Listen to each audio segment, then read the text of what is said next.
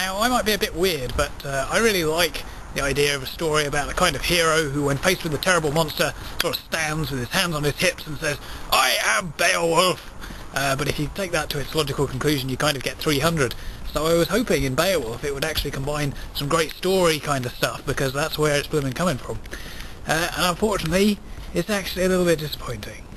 Okay, now I recorded my second impressions last night, but I've realised I'm going to have to cut that bit out because actually I kind of spoiled an interesting thing, even though I wasn't technically spoiling the plot. So here's how it goes in a non-spoilery fashion, okay?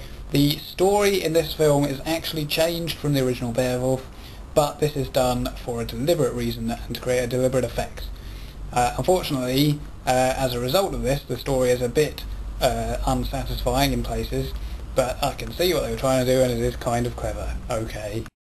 One question that people might ask is why bother scanning in actors exactly and then exactly motion capturing their performance to produce exactly what you would have got if you just put them in front of the camera in the first place? There are a few reasons for this. One is you can get beautiful lighting in an amazing way in some very difficult environments. You can also do clever things with reflections.